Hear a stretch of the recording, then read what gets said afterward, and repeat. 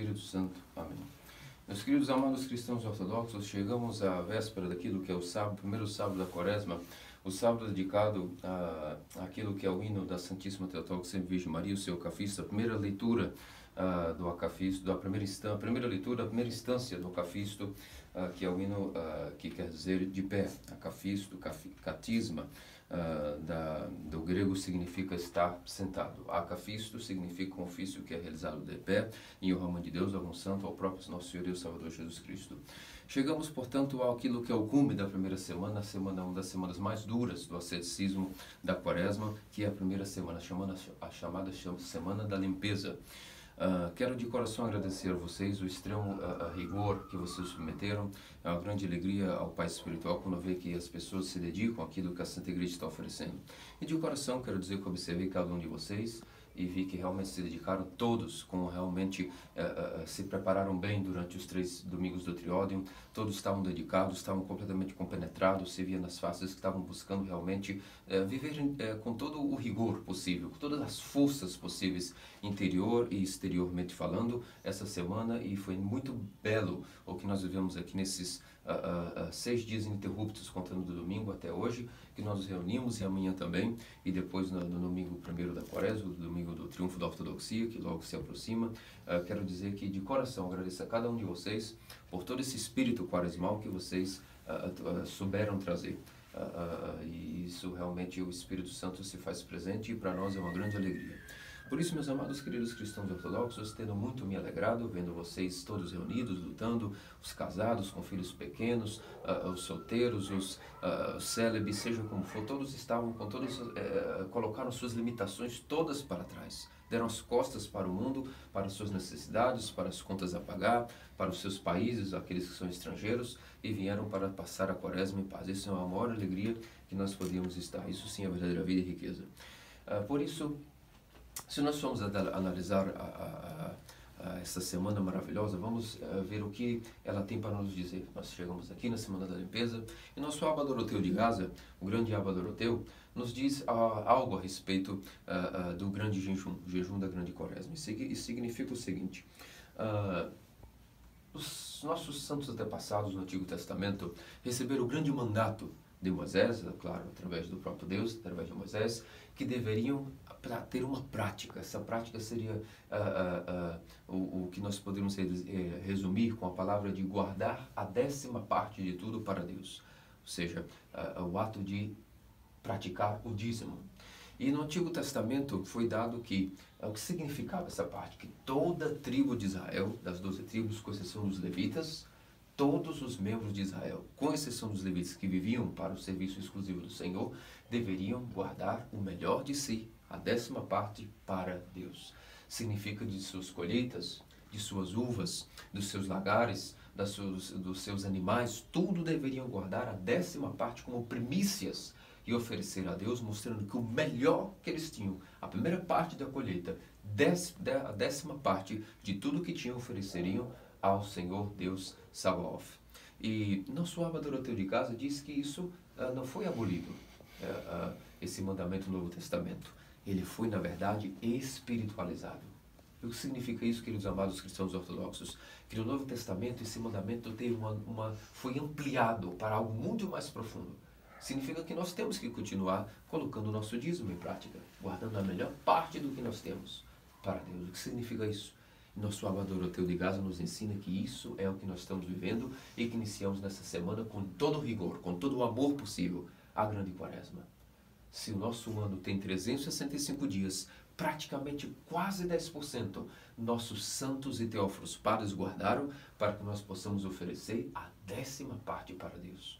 Isso significa que a quaresma foi plantada por nossos santos pais uh, e, e, teófilos na sabedoria da igreja para que nós possamos continuar oferecendo como todas as tribos de Israel, a décima parte do que é melhor de nós, o melhor da nossa mente, todo o nosso rigor de coração, o nosso arrependimento, a nossa compulsão, as nossas lágrimas, as nossas prostrações, tudo o que nós temos, cada poder mental que um homem tem, ele deve oferecer o melhor para Deus, as primícias. E isso chama-se a grande quaresma. É por isso que nós estamos vivendo ela e entramos com tanto rigor, chamada se chama Semana da Limpeza, para que nosso rigor seja aquecido e também conformado para o que significa esta, este mistério que nós vivemos. Por isso, não significa que nós não estamos é, obrigados a continuar vivendo os mandamentos do Antigo Testamento. Eles foram espiritualizados, foram transcendidos a uma medida mais elevada, a qual somente a Igreja Ortodoxa sabe como ensiná-los a viverem uh, tais mandamentos no Novo Testamento. E assim se dá com o o ato de guardar o melhor, a décima parte do melhor que nós temos, as primícias. Significa que a grande quaresma, portanto, é para nós a décima parte de toda a nossa melhor força anual. Nós guardamos todo o nosso fôlego corporal, através do jejum, prostrações, caridade, esmolas, as nossas orações, as nossas, nossas vigílias, nossa concentração, o nosso amor a Deus, guardamos o melhor para a grande quaresma, oferecendo a décima parte do ano em 40 dias para nosso Senhor e Deus Salvador. Significa que nós estamos diante desse grande mistério de separar 40 dias para mais do que todo o rigor que somos obrigados a dar durante o ano. Não significa que nos outros dias nós não devemos com rigor, significa que nós vamos dar o melhor rigor nesses 40 dias. E é o que nós começamos a fazer nessa semana da limpeza. Entretanto, a, a, a quaresma não é apenas a, algo que nós estamos eh, eh, tendo em vista como algo oferecer a Deus. A grande quaresma também é uma passagem para chegarmos em um alvo, um objetivo. E o que, que nós queremos chegar? A grande quaresma é o que foi preparado por nossos santos pais, para além de ser a décima parte do nosso melhor esforço, orações, a, a, a concentração, amor a Deus no ano, também ser um intermédio, um caminho estreito para chegar ao alvo. Qual alvo é esse? A Santa Páscoa para que nós podemos chegar com olhos espirituais purificados, dignos de contemplar a Semana da Paixão, que é o mistério salvífico de Nosso Senhor, a Santa Ressurreição, nós passamos por uma preparação, por um caminho estreito, um caminho cheio de provações, que requer muita paciência, cheio de tribulações, cheio de tentações. Um caminho estreitíssimo, chamado o jejum, para chegarmos na maravilhosa Páscoa. Significa, meus amados queridos cristãos ortodoxos, que a Páscoa não é somente, a Quaresma não é somente, portanto, algo que nós separamos para Deus como primícias. Também é um caminho pelo qual nós chegamos para a grande celebração da Páscoa. Mas não significa que a Quaresma, portanto, é apenas um meio para um alvo só. A Quaresma é um símbolo daquilo que é o próprio modo de vida de todo cristão ortodoxo. Por quê? Porque qual é o objetivo final? De todo cristão ortodoxo. Chegar ao reino dos céus. Chegar ao oitavo dia, chegar à comunhão plena com o Salvador. E qual é o caminho pelo qual nós temos que nos preparar para chegar ao, a, ao reino dos céus? O objetivo é ser cidadãos, cidadãos da Jerusalém Celeste, como diz São Paulo. Nós não somos aqui como somos como passageiros rápidos. Nós somos seres terrenos que um dia viverão uma vida espiritual. Somos seres espirituais com uma pequena passagem terrena. Significa, como diz São Paulo, o nosso objetivo, a nossa pátria não é aqui. A nossa pátria é a Jerusalém celeste. Somos cidadãos do céu. E para chegarmos nesse objetivo, o reino dos céus, nós também temos um caminho, no qual a, a quaresma é um protótipo, é um modelo. Qual é esse caminho? Toda a nossa vida. E assim como nossa vida tem um caminho estreito, cheio de provações, cheio de infinitos obstáculos aos quais é necessário ter muita paciência e dificuldades tremendas, assim também a quaresma, sendo um período de preparação para o reino dos céus, que é a Páscoa, a ressurreição, é um protótipo, um modelo do que é a vida do próprio cristão todo o ano. Percebe o quão profundo é o mistério da quaresma? Ela vai sempre nos lembrar, nos fortalecer, nos implantar um vigor maior para que nós possamos entender o grande mistério que nós estamos preparando, que é a própria vida eterna. Por isso a quaresma veio como nos, sacudir e lembrar: tu estás te preparando, ó homem ou mulher, para o reino dos céus. E assim como para chegar no reino dos céus, na Jerusalém celeste, serem cidadãos do céu, há toda uma vida que vai requerer muito sofrimento, muito suor, muitos obstáculos e paciência, assim também nossos santos padres plantaram a quaresma para ser um momento de preparação para o oitavo dia, a própria Páscoa. A celebração máxima do cristão, centro da doxologia e da adoração da vida do cristão, a festa das festas, a Páscoa mística, Páscoa majestosa, Páscoa dos fiéis. E se nós formos analisar, a, a quaresma também para nós, além de ser um modelo de nossa própria vida durante todo o ano, porque todo ano nós estamos, como não só oferecendo, é, é necessário que entendam. Todos os anos nós separamos um décimo do ano para Deus, a quaresma. significa que ela não só é um décimo anual, significa que no final de nossa vida, se todos os anos nós oferecemos a décima parte de cada ano, no final de nossa vida, se vivemos bem cada quaresma, nós estaremos oferecendo a décima parte de toda a nossa vida para Deus como o dízimo.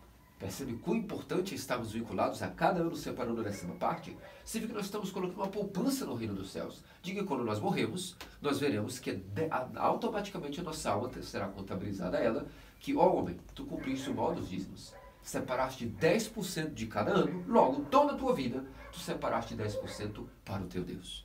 Vejam que importância nos dá a Santa Quaresma. E é por isso que, se nós formos analisar, é todo homem necessita ter um alvo, um objetivo onde ele quer chegar. E para que ele alcance esse objetivo, nenhum objetivo de nenhum homem é alcançado sem muito suor. E é por isso que a quaresma para nós é até mesmo um fator psicológico de treinamento emocional para o que é toda a vida do cristão de todo o ano. Porque todo ano ele está passando por muitos desafios para se manter de pé na igreja para se manter no caminho rumo que é o reino dos céus. E que ele se lembre, se o seu alvo é o reino dos céus, tu terás um caminho estreito a passar, estreito, um caminho completamente cheio de amargura, de dor e sofrimentos, porque nada na vida se consegue de maneira fácil. E é por isso é necessário ter um alvo, um objetivo, e esse objetivo foi para nós colocado muito claro, a Páscoa, que é o símbolo da nossa vida eterna. E para chegarmos à vida eterna, teremos todo um mar de tribulações, pois se queres chegar no reino dos céus, Prepara-te, filho meu, para a tribulação, se quer se, se colocar no caminho do seu, como diz o Eclesiástico. Por muitas tribulações o justo entra no reino dos céus, diz nosso Senhor. E no Evangelho de Lucas também. Haverá uma tribulação como nunca houve na terra. Mas aquele que perseverar em sua paciência será salvo. Significa até para a segunda vida do Senhor, haverá previamente à segunda manifestação gloriosa do Senhor uma grande tribulação como nunca houve. Percebe como a quaresma é para nós como uma medicina uma terapia, um preparamento para tudo, tudo na vida está reunido na Santa Quaresma, os seus mistérios insondáveis. Isso nós somos analisar, meus queridos amados cristãos ortodoxos, e a, a, a, o Evangelho fala claramente que sem nenhum tipo de sacrifício, é impossível adquirir a salvação. Aquele que quiser salvar a sua vida, perderá. Mas aquele que perder a sua vida por causa de mim, do meu evangelho, a salvará. Vê que é impossível nós é, racionalizarmos qualquer tipo de avanço da vida sem sacrifício. Se nós formos analisar, isso é até o senso comum nos diz. Até mesmo os incautos foram ensinados e sabem que se queres algo, você tem que batalhar por aquilo. Nada vem fácil, diz o senso comum. Sabe de onde o senso comum tirou isso? Onde os pagãos foram ensinados e, e onde virou até é, algo senso popular, uma lógica popular, de que nada na vida que é grandioso, rico, se adquire por, de maneira fácil. Isso veio do Evangelho, queridos amados cristãos ortodoxos.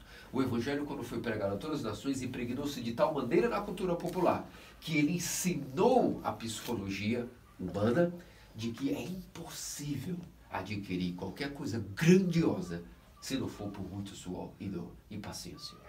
Então, o Evangelho, quando foi pregado às nações, o, o, povo simples logo adquiriu para si uma mentalidade de que é impossível adquirir coisas sublimes, grandiosas, sem passar por um sacrifício. Só um tolo acredita que de maneira fácil pode conduzir coisas que durem, porque tudo aquilo que é adquirido muito fácil, fácil se perde. Mas aquilo que é adquirido com batalha, suor e dor é algo duradouro e muito grandioso. É por isso que a psicologia eh, moderna, se nós formos ver, começou a cometer vários equívocos recentemente, desde a década de 60. Eles começaram a adulterar essa, essa psicologia até de, de, de senso comum e lógica moderna para dizer o seguinte, que qualquer pessoa poderia ser feliz, tendo o que ela quiser, na hora que ela quiser, da modo que ela quiser, e que isso seria a, a verdadeira felicidade. Não buscar sofrimento, mas adquirir de maneira fácil o que a pessoa quer, da maneira que quer, do jeito que ela quer, e que isso deveria ser, em resumo, cada pessoa deveria buscar a felicidade fugindo de todo qualquer sacrifício e sofrimento. O que aconteceu desde a década de 60, especialmente para cá, foi que a psicologia teve que reconhecer publicamente que se estava equivocada. E nós vemos que mais recentemente, dali no tempo próximo de nós, vemos que a psicologia moderna teve que engolir que errou e teve que agora voltar a corrigir e, e, e concluir o seguinte: Queres que o homem rapidamente entre no caos? Queres que o homem rapidamente entre no lirismo, que é a destruição de si mesmo? diga a ele que ele pode ter o que ele quiser, do jeito que ele quiser, da hora que ele quiser, sem sofrimento. Isso são, esses são as portas para o inferno já na terra. Um caos, uma destruição de mente. E automaticamente até o suicídio entrou em moda quando a psicologia moderna começou a pregar que o poderia adquirir qualquer coisa sem sacrifício. E recentemente vemos que muitos é, doutores em psicologia estão voltando à psicologia tradicional, onde a própria sabedoria popular dizia: se queres que o homem realmente esteja blindado contra qualquer tipo de destruição e fraqueza, ensine a ele que ele tem que ter, número um, um alvo, uma causa, um ideal maior que ele mesmo. E na hora que ele souber que ele vive por um ideal maior, uma causa maior, ele automaticamente irá dizer a si mesmo: Isso só virá a mim por sacrifício. Essa, por anos e décadas e centenas de anos, foi a psicologia popular, o senso comum. E agora, devido à era de suicídio, muitos psicólogos tiveram que voltar atrás e reconhecerem que erraram e tiveram que novamente ensinar os seus clientes que queres realmente curar a tua mente, comece a ter, busque algum ideal maior que ti mesmo. Um alvo, uma grandeza que te seja maior do que você. Porque todo homem precisa viver por algum ideal, por algum alvo, um objetivo claro, que seja maior do que ele. E então ele vai saber que para ele adquirir aquilo que é maior do que ele mesmo, suas expectativas, ele tem que ter sacrifício e dor. E isso é senão o que o Evangelho e o cristianismo sempre impregnou na mente popular. E é por isso que os cristãos sempre tiveram claríssimo esse ideal. E a grande quaresma foi implantada pelos Santos Padres para sempre nos lembrarmos que nós temos um ideal maior que os ideais. Qual é o maior dos ideais, meus amados queridos cristãos ortodoxos? Qual é aquilo que é grandioso mais do que nós? Para todo homem ter, precisa ter um alvo, como eu vos disse, maior do que ele, para que ele lute, sabendo que haverá sacrifícios para adquirir por etapas esse alvo. E qual é o ideal? Qual é o alvo que todo cristão tem diante de si, senão aquilo que é amar a nosso Senhor e Deus Salvador Jesus Cristo? Cristo e a união com Ele é o ideal dos ideais. É aquilo que qualquer homem, se tiver isso, saberá que é uma coisa muito maior do que ele poderia imaginar, algo maior do que as forças dele podem alcançar. E é por isso que ele terá que fazer sacrifícios. E é por isso que automaticamente a sua mente será ajustada a um, um, estado mental de postura de luta, de combate. E a grande quaresma foi implantada exatamente, como diz Doroteu de Gaza, por nós santos teófilos padres temos um tempo, sabendo que, mesmo após o batismo, mesmo após o crisma e a recepção dos outros dons, ainda que sejamos adquirindo o reino dos céus gratuitamente, nossos santos padres perceberam que a nossa vontade, mesmo após o batismo, ainda é muito fraca é uma vontade ainda de menino, mimado, que quer fazer a própria vontade sempre e não aceita correções. Não se pode nem dizer ai. E nós estamos dando um pulo quilométrico porque estamos sendo conformados àquilo que é algo diste, é, que tem dissonância com as nossas expectativas. E isso não é um estado saudável, meus amados queridos irmãos que são ortodoxos. Há uma, uma, um nome que se diz para aquele que basta ser contestado as suas conformidades, já contesta. Esse nome chama-se loucura, o louco, uma pessoa tola que é rico em blasfêmias, que é incorrigível e que está muito longe daquilo que é o ideal maior do que ele, mas que vive para ele mesmo, nunca aceita correção, sempre está conformado a, sua, a, a ser alguém mimado. E é por isso que a quaresma foi implantada pelos Santos Padres para curar nossa maldita vontade, que mesmo após o batismo ainda é doentia e quer fazer a própria vontade. E então, para o fortalecimento dos nossos poderes de luta, para o fortalecimento, fortalecimento da mente, da volição, essa faculdade da alma que está doente, foi plantada antes da Páscoa, a grande quaresma. Como um símbolo de toda a nossa vida, não só um momento que nós talvez deixássemos de pecar para poder viver a vida santa. Não, não é isso. É o símbolo de todo o ano do cristão, a qual está se preparando para unir-se com o seu Criador e para fortalecer essa vontade de se unir com o seu Criador, para dar um, um gás extra, uma volição maior, fortalecer os poderes de luta e de combate do cristão, foi dado a ele a grande quaresma, com o objetivo de preparar-se para a Páscoa, como um símbolo de preparação em toda a sua vida pelo objetivo que é maior do que qualquer homem, o ideal que ele nasce, ele, ele nasce nele uma vontade de lutar por algo que finalmente é maior do que as suas forças, o reino dos céus. E isso o contagia de tal maneira que ele é feliz. Queres ensinar uma pessoa a felicidade? Isso é prova até as crianças. quando as crianças são ensinadas desde pequeno que elas precisam lutar por igual modo que elas, vemos que elas já nascem fortes e elas mesmo rejeitam qualquer tipo de mimo. Elas não querem que serão, elas querem ser tratadas já como adultos, como maduros e querem desafios. E por isso serão adultos forjados e uma psicologia pronta para o combate. Serão talentosos e perceberão que realmente tendo diante de si, sempre na memória o ideal modo que elas, estarão sempre prontas para o sacrifício. Isso é provado desde a infância, meus amados, queridos cristãos ortodoxos, e nós vemos nas próprias crianças. Quando elas são criadas sabendo que tem um ideal maior do que elas, e que elas, o egoísmo, não é um caminho de vida, que elas precisam ver para algo maior do que uma causa que os enebria, elas, por si só, vão escolhendo sacrifícios para fortalecerem-se para um dia adquirirem aquele objetivo maior. Isso já é prova dentro das crianças quando são educadas de uma maneira correta. Quem dirá nós que somos adultos e cristãos e precisamos adquirir essa mente de combate. E aí está a grande quaresma para vocês, com todos a, a, as, os consolos que ela pode vir dar. E agora nós podemos perguntar, sim, para tudo isso que o Senhor ensina é maravilhoso, mas parece até utópico. Pode um homem viver tanto tempo trazendo à mente o ideal, o alvo? O alvo é lindo, o ideal maior do que ele, mas isso está muito distante. O que ele tem no dia a dia, próximo dele, não é o ideal que ele está visualizando. O que ele tem todo dia do lado dele são provações, tristezas, amargura, obstáculos. Pode, ó Padre, que o homem viva com algo tão distante dele, o alvo, e ao mesmo tempo próximo dele só tristezas, obstáculos. Poderia ele, como ele poderia lidar com esse paradoxo? Que ele acenda dentro dele uma chama, uma ardência por um alvo é, é maravilhoso, mas esse alvo está muito distante. O que nós temos, sinceramente, no nosso dia a dia, grudado em nós, o que é? São as tristezas, as tribulações, dores e obstáculos. E muita falta de paciência. É possível, então, viver isso que isso está dizendo? Ou seria somente um estoicismo? Um tipo de prática cética, a qual ninguém pode praticar. É assim, queridos amados cristãos ortodoxos. Nossa dúvida, a nossa dúvida é, gira em torno disso. Só que, para provar que ainda que o ideal seja trazido à mente esteja distante e o sofrimento seja aquele nosso companheiro, a Santa Igreja Ortodoxa colocou para nós como símbolo do que, de que é possível, ao final dessa primeira semana de grande dor, de grande rigor, para consolo maior nosso, a Santíssima Teotocos e Sempre Virgem Maria.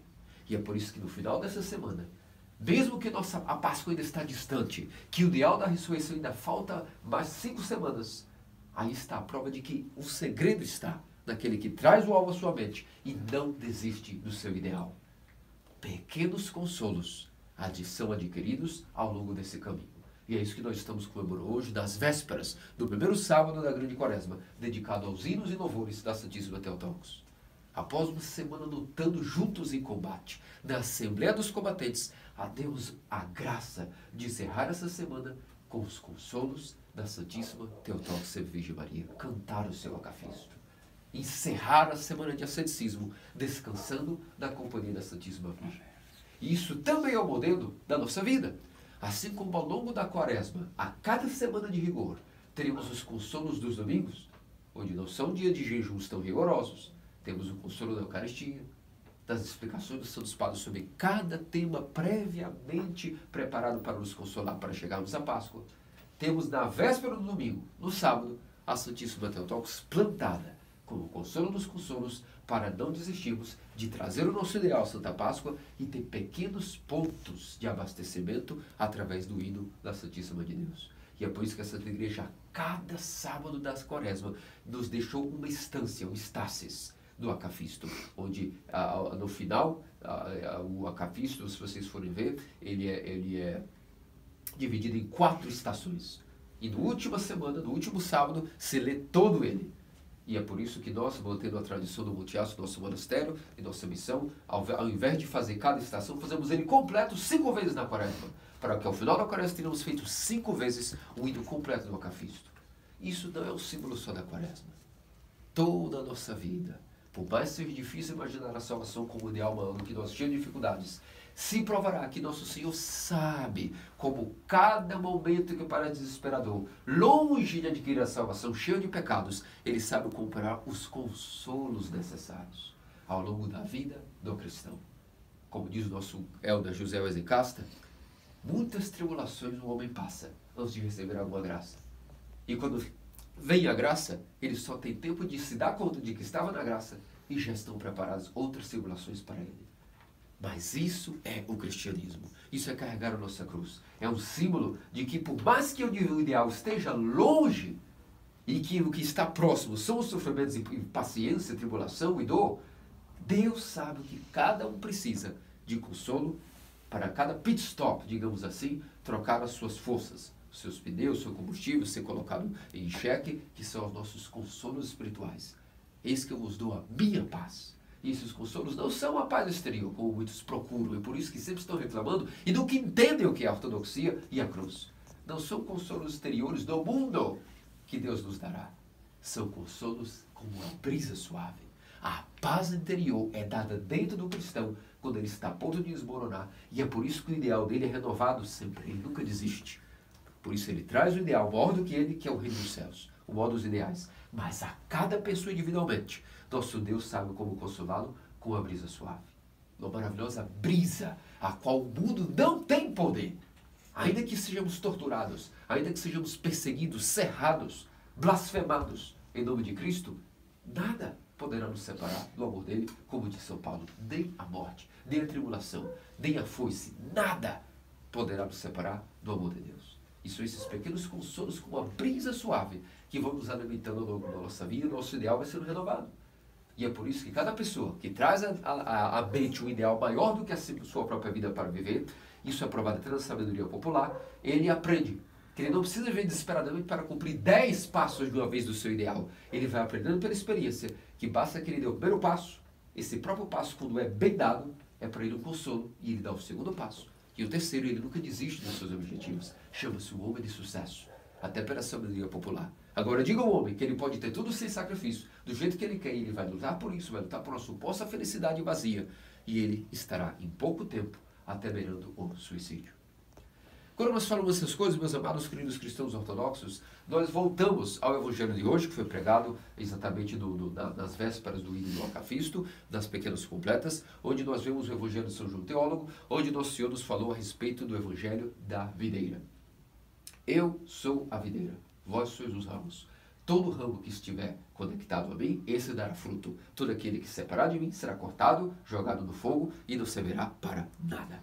Mas todo aquele ramo será podado dará mais frutos ainda. E quanto mais for podado, mais dará frutos. Que frutos são esses, meus amados cristãos ortodoxos, que Senhor espera de nós? Os frutos do arrependimento. E é isso que a Quaresma vem nos dizer exatamente no dia de hoje. Não vamos ser pessoas mimadas e fracas. Lembremos que nosso Senhor narrou esse evangelho, eh, foi contado por nós por São João Teólogo, que a relação que ele espera de nós é uma relação natural, íntima, orgânica, quase biológica, onde ele ensina-nos exatamente que, assim como cada ramo é conectado com, sua, com o seu tronco e são da mesma substância, se alimentam da mesma seiva, estão intimamente conectados com a mesma vida de uma planta, essa é a relação natural, orgânica e quase biológica que o Senhor espera ver de nós e para isso também nossos santos padres plantaram a Santa Quaresma para que nós entendamos misteriosamente pela experiência, não por sermões como aqui, não por palavras vazias, mas pela experiência cética de que é isso o que nosso Senhor busca em cada um de nós. É por isso que, pelo fortalecimento da nossa vontade, como eu dizia, foi implantada a Santa Quaresma. Mas há que atentar que o jejum da ortodoxia e todo o asceticismo não podem ser comparados com sistemas filosóficos vazios, ou como puro estoicismo. O estoicismo para os gregos era o tipo de prática heróica, o ideal que a pessoa trazia para si, ia tentar batalhar, se sacrificar, ou como yoga, que também é um sistema filosófico no qual a pessoa tenta se auto-aperfeiçoar, ser cada vez uma pessoa melhor. E muitas vezes, quando a pessoa é inexperiente e começa a ver o que, que o jejum da igreja ortodoxa pede, as regras, as, as dietas aparentemente incluídas no aspecto exterior, de o que comer, o que não comer, uh, uh, todas as regras de prostrações e os ofícios mais longos, as vigílias, a pessoa, o principiante pensa, isso vai me fazer alguém melhor. Me sinto bem com a primeira semana da quaresma, porque eu me sinto mais leve, mais delgado, minha concentração aumentou, minha inteligência aumentou, eu leio livros mais rápido, estou perdendo peso, estou cheio de alegria.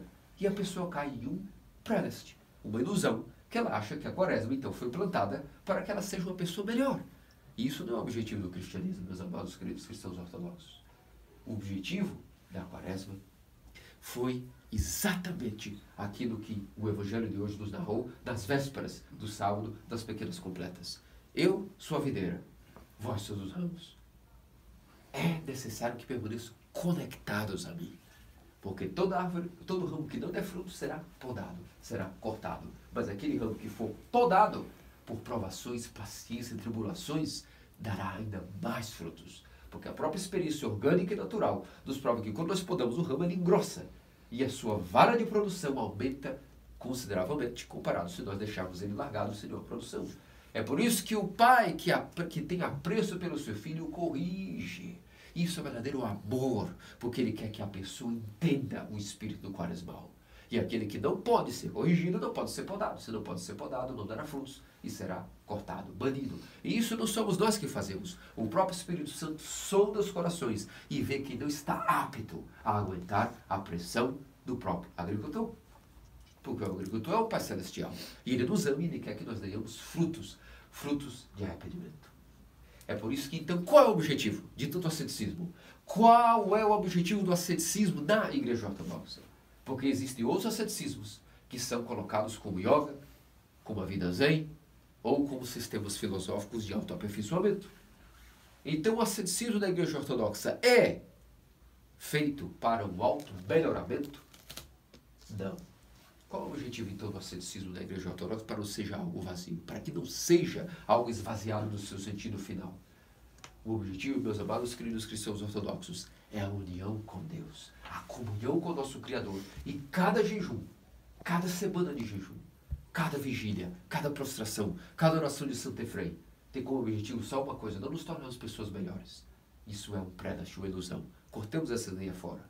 O objetivo do asceticismo da Igreja Ortodoxa da Quaresma é cativar, mais ainda do que todos os, anos, os meses do ano, desses 40 dias, com toda a nossa força extraordinária, com todo o nosso vigor, uma relação íntima e viva com Deus vivo. Isso é cristianismo para que nós tenhamos uma força extra, mais do que todo ano, de cativar uma relação íntima com Deus vivo, nós temos aí a quaresma levantada para nós. E é por isso que não trata de um sistema filosófico, de autoaperfeiçoamento. Não trata-se tampouco de uh, uh, um estoicismo, um ideal maior para se melhorar. Ninguém melhora a si mesmo por essas práticas. Se provam práticas vazias ao longo do tempo. Mas dentro dessas práticas está o cerne o conteúdo pelo qual estamos fazendo essas coisas. Para que nós não desanimemos do nosso mapa quaresmal. Até o fim, semana a semana, vamos juntos continuar a animar, renovando, triplicando, quadruplicando nosso ânimo. Para quê? Para poder nos unir com Deus naquela noite maravilhosa da Páscoa, de uma maneira como nunca nós unimos.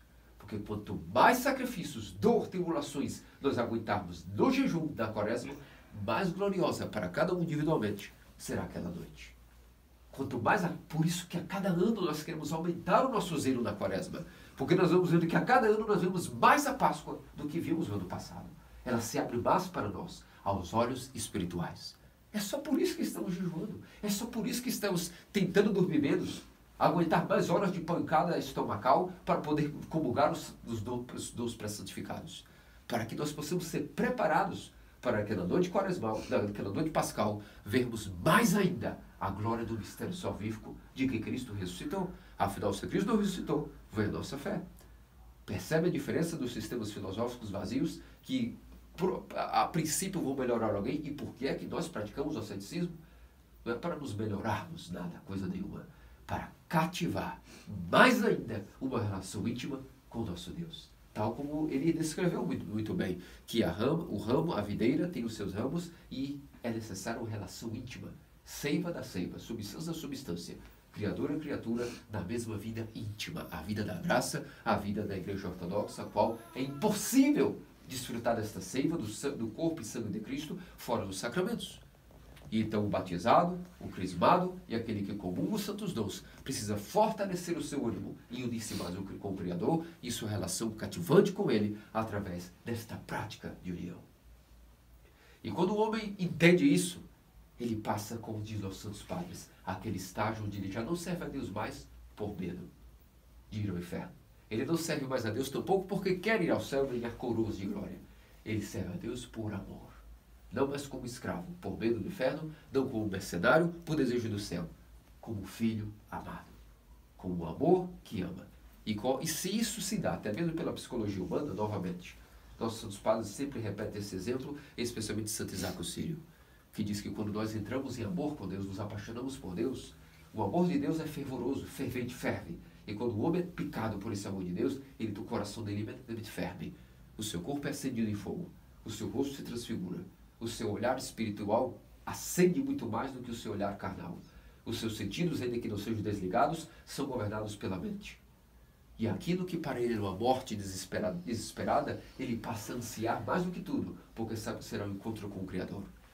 E a sua teoria é tamanha, a sua iluminação, a sua visão de Deus, que ele passa a estar completamente em conversação incessante com o seu Criador. E foi esse foi o ânimo de Santo Isaac, que picou as virgens, picou os apóstolos, picou os mártires. E é esse mesmo ânimo que nós estamos lutando para adquirir na grande quaresma. Esse mesmo amor fervoroso que quando picar o nosso coração, todo o nosso ser será acendido em amor por Deus. E quando uma pessoa é acendida assim por amor a alguém, o ser humano, como ele vive? Ainda que a pessoa não seja presente, ele vive na presença da sua pessoa amada. Ele faz tudo para agradar aquela pessoa, mesmo que essa pessoa não esteja presente no mesmo ambiente, ele faz tudo em prol de uma pessoa amada. Ele fala, ele pensa, ele calcula todas as suas ações, pensando que o, o amado estará olhando, porque ele vive apaixonado. Isso é o estado de alguém que está apaixonado. Mesmo que a pessoa não esteja presente, ele vive pensando nessa pessoa, na presença dessa pessoa e fazendo algo que agrade e nunca descontente essa pessoa. E esse é o estado que a quaresma está para nos dar. Sem ela é impossível renovar esse fôlego e cativar essa relação com Deus. É para isso que existe o asceticismo da Igreja Ortodoxa, para que possamos nos apaixonar por Deus de fato, purificar-nos de paixões, de egoísmo e de desejos pessoais, para desejar somente a Deus, para entrar em amor com Deus, para ter Ele como nosso amado. E se é possível esse tipo de relação com o ser humano, quanto mais devemos fazer por uma pessoa amada? Abarcênio, o grande do deserto, fugia de tudo e de todos para ir no deserto para estar sozinho com Deus. E quando nós vemos que algumas pessoas fogem distâncias longas para encontrar os seus amados, quando alguém se apaixona por alguém, ele é capaz até de viajar léguas para estar com essa pessoa. Assim também nossos santos padres viajavam até lonjuras do deserto para ficarem sozinhos com Deus. Agora, o que era essa solitude com Deus? O que era essa, essa, é, estarem sozinhos no ermo com Deus? Era, o, que o que significava isso? É como o asceticismo eh, yoga, ou zen, uh, uh, Buda, que diz que a pessoa irá ficar sozinha consigo mesmo no meio do deserto. Não, queridos amados cristãos ortodoxos. O asceticismo ortodoxo também não fugimos das pessoas para estarmos sozinhos. Nós fugimos das pessoas para estarmos sozinhos com Deus, com a pessoa que nós mais amamos. Porque São João Crisóstomo mede quanto alguém ama alguém na capacidade que ele tem de deixar de falar com essa pessoa ou não. Quando nós amamos alguém, nós não conseguimos deixar de falar com essa pessoa. É por isso que nós, se amamos a Deus, passaremos a não querer nunca deixar de falar com Ele. E o abasteiro no deserto, vos traria essa ilustração rápida, o abasteiro no deserto, ele fomos por fugir de todas as pessoas, até de seus filhos espirituais. E um dia seus filhos espirituais chegaram para ele e disseram, o Senhor não ama a gente. O que fizemos? Será que o Senhor não nos ama, querido Arbacênio? Tanto eles amavam o seu pai espiritual. Ele dizia, que eu vos amo ou não, ó meus queridos filhos, do, na vida futura vocês saberão se eu vos amo ou não. Entretanto, vou dizer uma coisa. Se eu ficar no meio de vocês, junto com vocês, eu seria obrigado a falar com vocês e com outros também. Mas a verdade é que se eu for falar com todos, eu não vou ter espaço e tempo para falar com o meu Deus. E eu quero estar falando constantemente com o meu Deus. E é por isso que eu vou sempre fugir para estar sozinho, para falar com o meu Deus. Veja o amor que picou o Santo Arcênio Grande e por isso ele fugia, era famoso por fugir até de seus filhos espirituais, seus discípulos, para estar sozinho na presença de Deus. E é por isso que o asceticismo da igreja ortodoxa, quando fala de silêncio e solidão, o ermo, o deserto, tampouco prega de estar sozinho consigo mesmo, diluindo-se numa, numa, numa energia cósmica, e sim estar sozinho com Deus. Aí vale a pena fugir de tudo e de todos para estar com o Criador, num enamoramento por Ele e uma paixão por Ele. E agora quero-vos concluir dizendo qual é a única maneira de se apaixonar por Deus, estar completamente unido nele, nesse nível que Santo Isaac nos ensina, que é provando desse amor fervor, fervente de Deus, fervoroso, todo o ser humano passa a estar fervendo de amor por Deus, enamorado por Ele, e quer mais ainda renovar o seu zelo para ter mais sacrifício, mais jejum, mais oração, para poder cativar uma relação mais íntima com Deus. Qual é a única maneira de se unir a Deus nesse nível tão elevado? A única maneira, meus amados queridos cristãos ortodoxos, é através da nossa Santíssima Panagia a e sempre Virgem Maria. E é por isso que no final dessa dura semana, nossos santos padres nos deram o hino do Acafisto para entendermos que tudo isso só é possível através da Santíssima Teotocos e sempre Virgem Maria. Para que tenham noção disso, vamos trazer a imagem dos, de São Máximo Queimador de Cabanas do Monte Atos. Ele era conhecido e famoso na época do, da Santa Montanha do Monte Atos por estar em Preleste. Assim era conhecido ele. Porque ele queria tanto estar devotado a uma relação íntima com seu Deus e enamorado por ele, que onde ele ia, para se desapegar rápido das pessoas e daquele local, ele tocava fogo em sua, sua cabana, em sua, em sua caverna e fugia para outro lugar, para que não deixasse nem resquícios. E ele foi julgado pela, naquela época, como diz, este homem está louco, está em ilusão espiritual, está criando a forma de asceticismo nunca vista, uma loucura de sua cabeça. E era conhecido por assim, o homem que está no Monte Atos louco, em preleste, em ilusão espiritual. São Máximo Queimador de Cabanas. Entretanto, São Gregório Sidaíta, um dos santos padres da Filocalia, do Paterocum grego e da Filocalia grega, foram, foi iluminado por Deus e discerniu que havia algo aí, que esse homem realmente estava em desajuste de fato. Em desajuste, para a normalidade daqueles que não estão apaixonados por Deus no nível sobrenatural. E que sim, ele estava desajustado, porque estava no nível realmente muito grande de enamoramento e, e, e apaixonamento por Deus. E, e sabe o que São Gregório Sidaita percebeu? Que esse homem possuía um dom da oração incessante. Uma conversação incessante com o seu amado, o seu Cristo, que é a pessoa que mais o ser humano deve amar é o próprio Cristo, o Logos. Por quê? Porque ele tem direito de que nós o amemos acima de todas as pessoas. Porque todo aquele que foi batizado de Cristo, de Cristo foi revestido, fomos vestidos com Cristo. E ele nos adquiriu a preço de sangue. Então ele tem direito de que os votos que nós demos no batismo de amá-lo acima de todas as coisas, ele tem direito de nos cobrar. E quando nós meditamos que nós demos esses votos no batismo e vemos que nós não estamos cumprindo esses votos por aquele que nos amou primeiro e nos, nos conquistou a preço de sangue, porque nós fomos batizados e pertencemos a Ele. Isso é a base do arrependimento. E é por isso que homens e mulheres de todas as gerações abandonaram tudo para poder cumprir essa promessa de amar a Deus acima de todas as coisas. E São Máximo Queimador de Cabanos possuía o dom de conversar com Deus incessantemente e São Gregório Sinaíta percebeu isso e foi até ele. E disse, querido Máximo, ó Padre Máximo, diga-me, como é possível chegar no nível de proximidade com Deus tão grande ao ponto de conversar com Ele incessantemente? E São Máximo, que estava já cansado e safo daqueles que o criticavam, e era bom para ele que todos pensavam que ele estava em preleste, que faria bom para a sua alma, percebeu que Gregório Sinaíta havia adquirido discernimento e, sinceramente, tinha se aproximado dele para buscar discernimento espiritual. E então, tirando a máscara da loucura, São Máximo falou com ele e disse: Sim, vou te dizer como é que se adquire a conversação máxima incessante com Jesus. O nível máximo da oração de Jesus.